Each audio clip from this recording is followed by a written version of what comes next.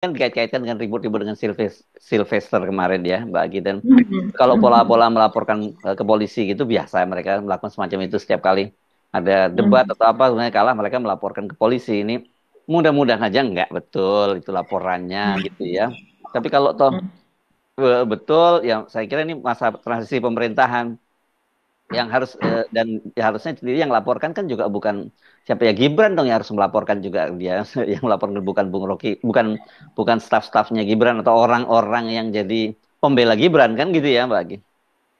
Iya, uh, saya rasa ini kan deliknya aduan ya, seperti ini ya Mas Etsui. Mm -hmm. Iya, kenapa kemudian sekarang berkembang bahwa ini akan terus di uh, apa diperiksa begitu ya? Mungkin uh, ini semacam tekanan gitu maksudnya karena ini uh, bukan merupakan delik aduan berkembang seperti itu Mas Ersu.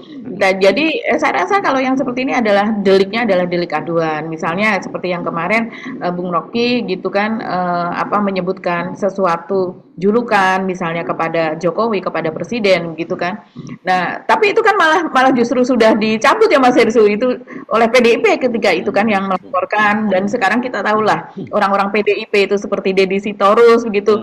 Setelah dia uh, mereka sendiri mengalami banyak sekali tekanan. Mereka malah mengatakan bahwa saya betul-betul uh, menyesal begitu. Dulu pernah uh, apa memiliki pikiran yang begitu kepada Bung Rocky. Tapi sekarang saya tahu bahwa semua ucapannya Bung Rocky itu benar. Dia seperti peramal. Apa yang dia ucapkan itu ternyata benar. Sebetulnya dari dulu memang sudah seperti itu, cuman waktu itu saya belum mengetahui bahwa Jokowi seperti itu. Misalnya dia mengatakan itu Mas Hersu secara terbuka sambil ketawa sambil geli sendiri seperti itu kan. Ya. Ya.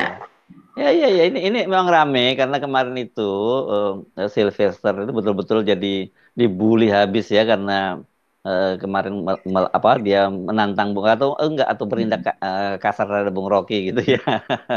jadi malah malah jadi apa ya backfire ya kalau yang terjadi itu. Betul. Oke, okay, itu kita akan akan bicarakan dan uh, yang lain apa nih Bagi? Ada KPK juga lagi rame ya soal Nurul Gufron yang kena sanksi apa ya teguran ringan ya Mbak itu ya sanksi etik ringan. Iya. Ya? sanksi uh, uh, sang apa namanya teguran tertulis begitu dan juga pemotongan gaji 20% selama enam bulan. Memang dia masih enam bulan lagi kerja Mas Hersu. Sekarang saya hmm, sudah enggak tinggal akhir tinggal tinggal Desember lah. Kalau tinggal enam bulan berarti dia sudah siap-siap mau terpilih lagi dong. Kan dia, dia maju lagi. Tapi saya kira orang seperti ini eh, kalau udah kena sanksi gitu ya nggak layak lah untuk dilanjutkan lagi ya Mbak ya. Sekecil apa pun. Karena lembaga hmm. seperti eh, KPK itu harusnya soal etik itu jadi satu hal yang sangat serius. Jadi kalau dia sudah pernah kena sanksi etik se sekecil apa pun menurut saya dia tidak pantas lagi gitu untuk untuk dicalonkan kembali gitu ya. Gitu. Betul. -mm. Tapi memang tampaknya ini uh, Nurul Gufron dia mengatakan pasrah, tapi sepertinya ya dia masih yakin bahwa dirinya itu akan terpilih karena uh, apa menurut Tumpak Hatorangan kan sebetulnya dari uh, dari KPK sendiri sudah memberikan catatan ya Mas Irsu kepada tim pansel yaitu panitia seleksi karena panitia seleksi ini tidak hanya uh, mereka me, apa namanya nanti melihat uh, kapasitas dari masing-masing untuk sebagai pimpinan KPK saja, tapi juga sebagai anggota Dewan Pengawas. Hmm. Nah ini gawat kalau seandainya Dewan Pengawasnya diisi oleh Nurul Gufron gitu kan, walaupun dia mungkin catatannya adalah dia memiliki uh, apa experience begitu sebagai pimpinan KPK. Tapi ya orang seperti ini yang sudah memiliki cacat etik begitu kan Mas Herisu, masa mau lolos? Ini seharusnya sih kalau saya melihat ya gugur saja kayak nggak ada orang lah pokoknya kalau seandainya Nurul Gufron ini sampai lolos gitu. Luar itu apa lagi ya bagi yang kita mau kita mau bahas? Lagi heboh soal staf khusus ya, ada asisten staf khusus ya. Betul Mas Hersu saya juga heran. Ini apa sih kok rame staf sus? Dan nomor satu lagi Mas Hersu itu dari sejak kemarin sampai tadi dini hari sekitar pukul 3 pagi saya eh, apa melihat X begitu apa ini stafsus? Setelah saya lihat itu ternyata memang ada. Jadi rupanya begini Mas Ersu yang bikin heboh itu adalah uh, rupanya staf khusus presiden itu memiliki asisten. Oke okay lah kalau staf khusus memiliki presiden uh, oke. Okay. Tapi ternyata asisten ini uh, ada memiliki pembantu, pembantu lagi. Asisten Yeah. Pembantu asisten. Jadi asisten uh, level pertama, first level, uh, asisten second level. Kayaknya seperti. Dan yang lebih bikin kaget, karena gajinya itu besar, Mas Hersu. Hmm. Jadi Hmm, jadi gaji staf sus saja sudah segitu begitu ya. Kemudian gaji asistennya sekian dan gaji dari uh, pembantunya si asisten ini ternyata di atas 20 juta. Nah, ini mungkin yang perlu kita bahas Mas. Ini banyak asisten rumah tangga saya kira iri ini ya pasti karena kerjaannya pasti lebih berat asisten rumah tangga ketimbang asistennya uh, pembantu asistennya staf khusus presiden ya. Nggak fair banget ya hidup ya. Oke. Okay. Mari kita mulai dari dari mana dulu nih Mbak Agi kita akan mulainya. Eh, dari Bung Rocky dulu dong. Yes, oke. Okay. Iya. Ini, ini kasusnya menarik ya. Kasus Bung Rocky ini saya kira ini kaitannya dengan uh, ribut-ribut kemarin ya di iNews antara Bung Rocky dengan uh, Sylvester uh, uh, Sylvester Thailand bukan Sylvester Matu bukan yeah. uh, Matutina ya bukan dia ya bukan dia ya badannya sama-sama gede sih tapi namanya iya. berbeda yeah. begitu ya. Mm-hmm. Ini dan uh, kelihatannya ucapan Bung Rocky itu uh, ini kaitannya dengan waktu itu memang Bung Rocky kan pernah bertemu dengan Gibran ya. Gibran tuh pernah datang ke eh, mana ke rumahnya Bung Rocky di kawasan Sentul. Pada waktu itu saya, saya juga terkejut karena eh, ini pertemuan itu kan September 2021 ya eh, ketemu Bung hmm. Rocky itu dan Gibran hmm. itu eh, dilantik itu pada 6 Februari 2021. Jadi ya masih eh, tahun pertama dia sebagai eh, wali kota gitu dan padahal kan Bung Rocky ini orang yang selalu mengkritik Pak Jokowi terus menerus dan Gibran datang pada waktu itu ya. Nah, rupanya dalam percakapan-percakapan itu adalah yang uh, nanti lengkapnya Anda bisa nonton di di Rocky Gerung karena Bu, uh, Bung Rocky Gerung official sudah memberikan uh, penjelasan tadi pagi gitu, Mbak Agi. Mm -hmm. Dan uh, ini yang uh, kemudian sekarang ini bergulir, ini kabarnya sejak tadi malam si Santer mm -hmm. bahwa akan ada dilaporkan ke polisi. Saya belum tahu karena kita tappingnya ini kan masih pagi ya, apakah akhirnya mm -hmm. uh, ada laporan atau tidak? Tapi mudah-mudahan enggak ya, Mbak Agi gitu ya. Iya. yeah. nah, tetapi kalau saya kemudian uh, uh, telusuri itu ya Mbak Agi, uh, mm-hmm. apa kaitannya apa sih ke menteri-menteri yang soan ke Gibran itu ternyata memang banyak kasusnya Mbak Agi gitu. Ini waktu Gibran pertama kali jadi menteri eh menjadi wali kota saja dalam waktu eh, 30 hari atau sebulan pertama itu sudah ada sejumlah eh, menteri dan juga para eh, eh, petinggi partai itu yang soan ke uh, Gibran begitu ya di di Solo. Dan kemudian kita masih ingat ya ada satu foto dulu yang Pak fotonya Gibran dengan Pak uh, Pak uh, Basuki ya Mbak Agi yang kelihatan sekali yeah, Pak, yeah. Eh, Pak Basuki duduk di bawah Gibran duduk di atas meja gitu. Kita bertanya ini sebenarnya yang yang bos yang yang menteri siapa, yang wali kota siapa kan begitu. Jadi waktu itu ramai banget. Nah, ada beritanya ini saya membaca di uh, di, berita ini beritanya pada eh, setelah dia sekitar dua tahun ya menjadi menjadi gubernur eh menjadi wali kota mohon maaf jadi hmm. itu tercatat ada 25 menteri yang sowan itu eh, ke ke Gibran jadi kalau dua dua tahun itu kan berarti 24 bulan ya Mbak Agi ya jadi kalau hmm. ada 25 menteri yang eh, datang ke tempat Gibran itu berarti setiap bulan ada minimal ada satu orang menteri yang yang berkunjung ke Solo. Saya kira luar biasa banget ini ya. Ada ada wali kota didatangi setiap bulan ada menteri yang datang dan soal begitu. Nah ini ini menarik. Ini uh, saya bacakan aja ya beberapa namanya namanya yang muncul itu ya Mbak, nama yang yeah. Yang dia datang ke bertemu dengan Gibran itu. Nah ini ini lengkap loh, mulai dari menteri koordinator sampai menteri-menteri menteri biasa ya. Kalau menteri koordinator itu mulai dari menteri koordinator bidang manusia dan kebudayaan Muhajir Effendi itu hmm. pernah datang pada tanggal 25 Januari 2022.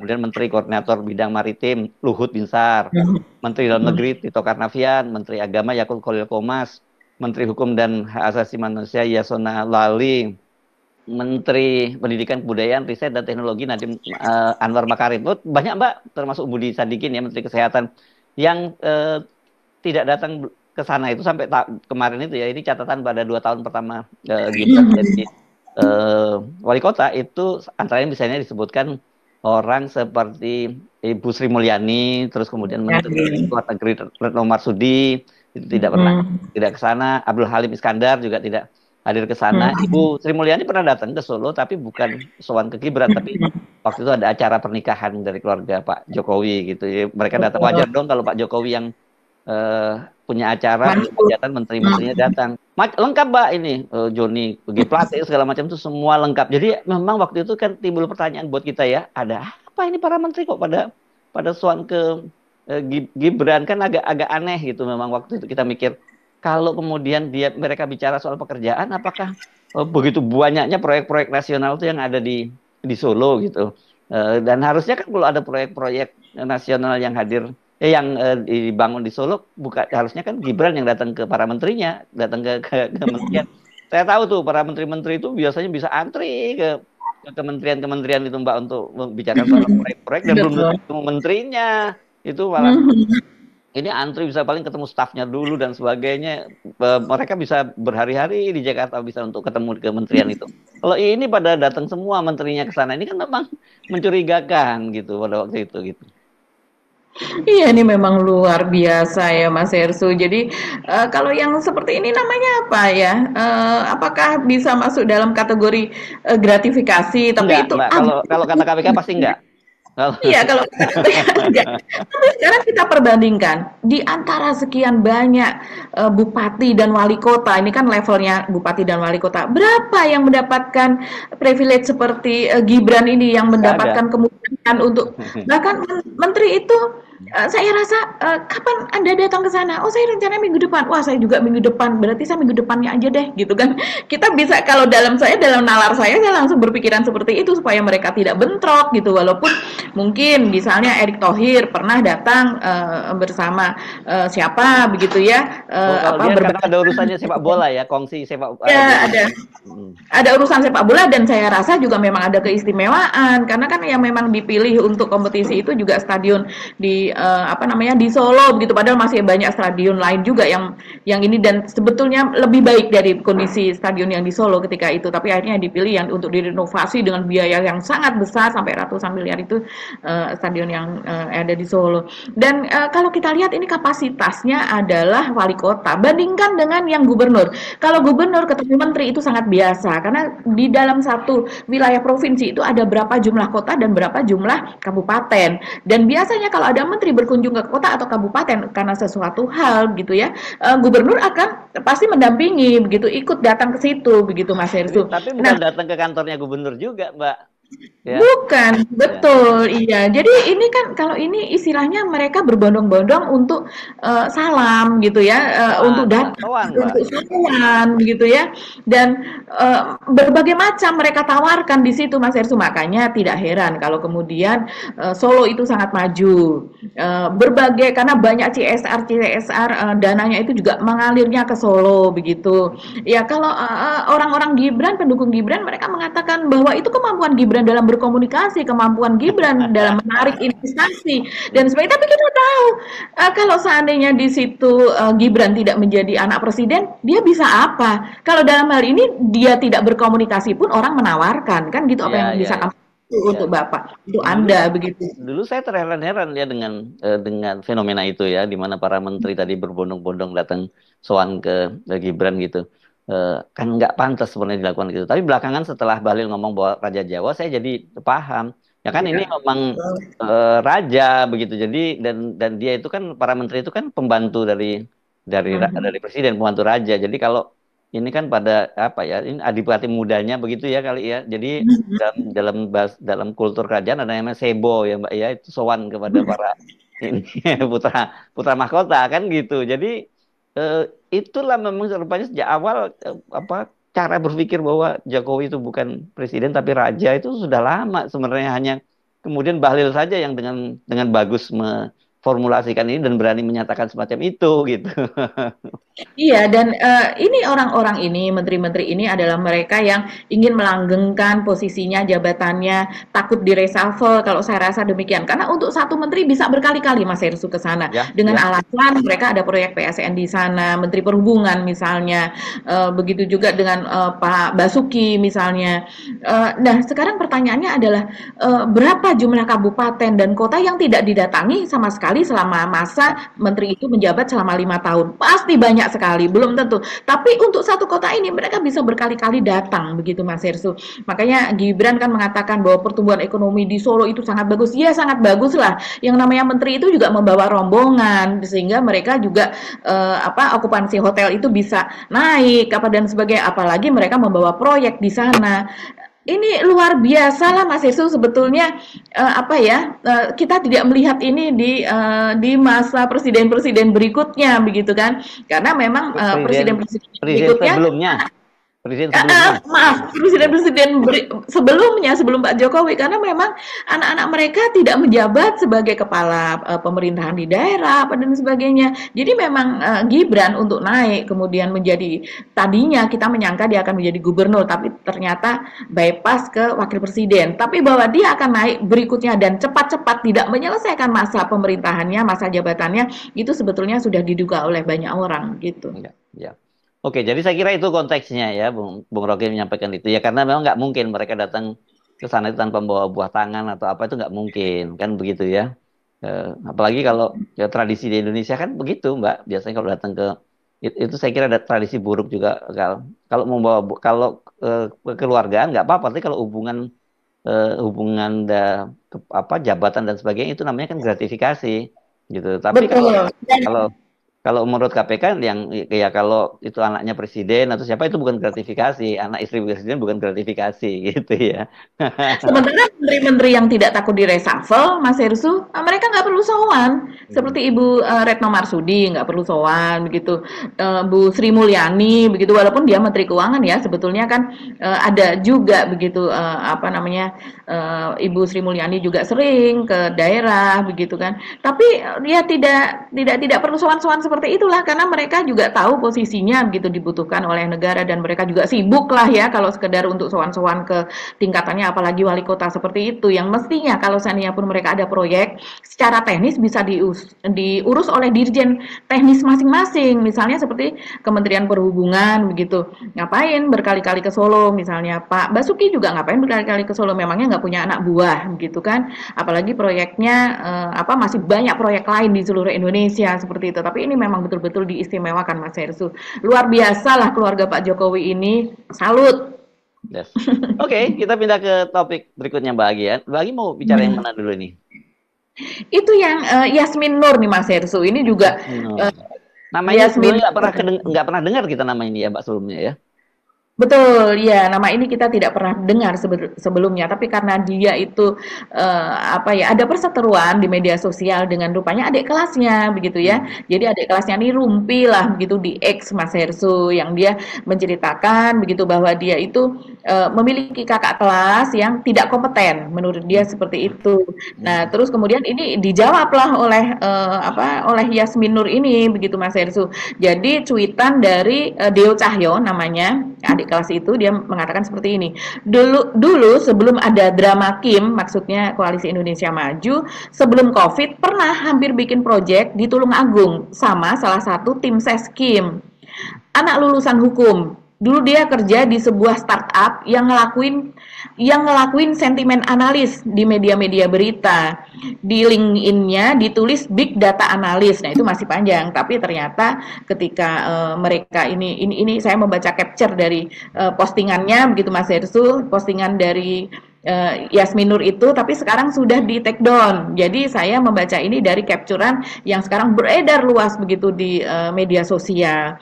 Nah, tapi ternyata setelah bekerja sama dia baru mengetahui bahwa kemampuan data analis dari yang bersangkutan itu zong, kurang lebih demikian. Begitu. Nah, ini rupanya membakar uh, kemarahan begitu ya dari Yasmin Nur ini dan ternyata uh, apa namanya? dia spill untuk untuk uh, kemarahannya itu jadinya malah melebar ke mana-mana Mas Irsu. Dia menulis seperti ini.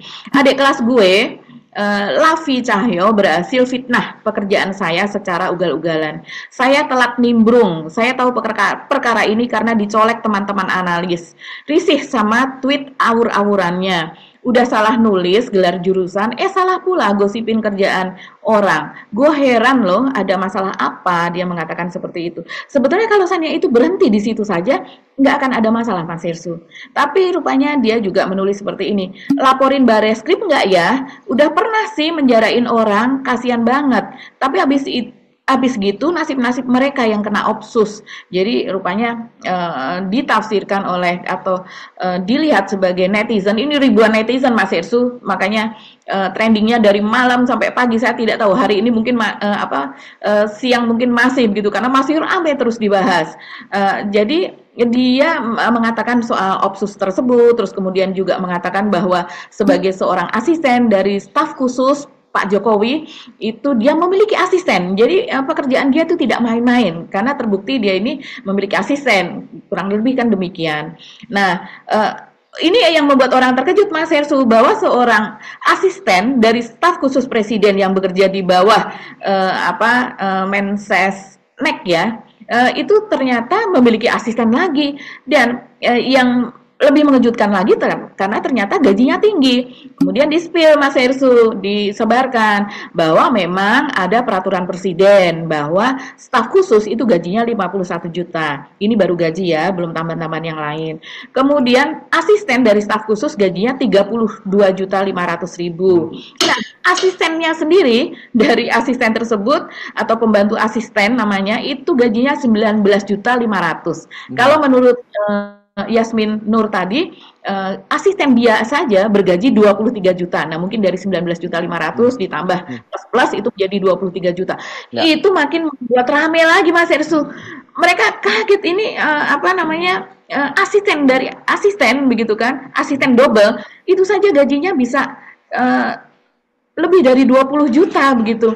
Gimana bagaimana negara ini cara mengelola uang uang rakyat karena untuk menggaji hmm. mereka kan ini uang iuran kita rame-rame yang Pak Jokowi sendiri bilang bahwa Ibu Sri Mulyani itu mengumpulkan sen demi sen begitu. Tapi ternyata asisten saja punya asisten jadi double asisten gajinya besar sekali. Sementara ya. sekarang negara dalam keadaan seperti ini begitu. Ya dan biasanya seorang staf khusus itu pasti akan jadi komisaris di perusahaan tertentu. Jadi kalau 51 juta itu kecil itu Mbak karena kayak dia iya. komisaris oh. di perusahaan lain itu yang ya, BUMN itu yang gede-gede itu nantinya.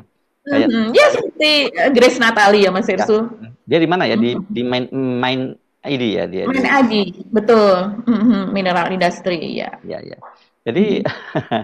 ya ini bercandaan ini memang ya di negara dipakai bercanda ya. Kalau tapi kalau oh, kapasitasnya terbatas gitu ya karena sebenarnya yang dibantu juga eh, terbatas juga kapasitasnya jadi nggak terlalu mengagetkan lah ya gitu.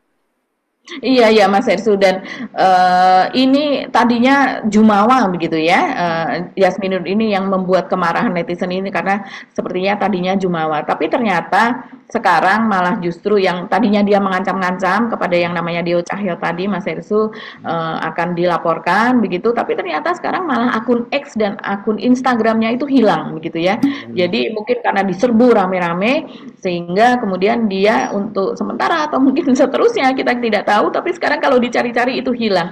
Jadi jejak dari perseturuan itu dan ancaman-ancamannya itu hanya kita bisa uh, lihat melalui screenshot yang dilakukan oleh banyak netizen begitu. Ya, dan ini kelihatannya memang ini ya kebencian terhadap uh, apa pun bagian dari rezim itu udah merata banget ya kalau kita lihat ya, ya kayak gini-gini nih.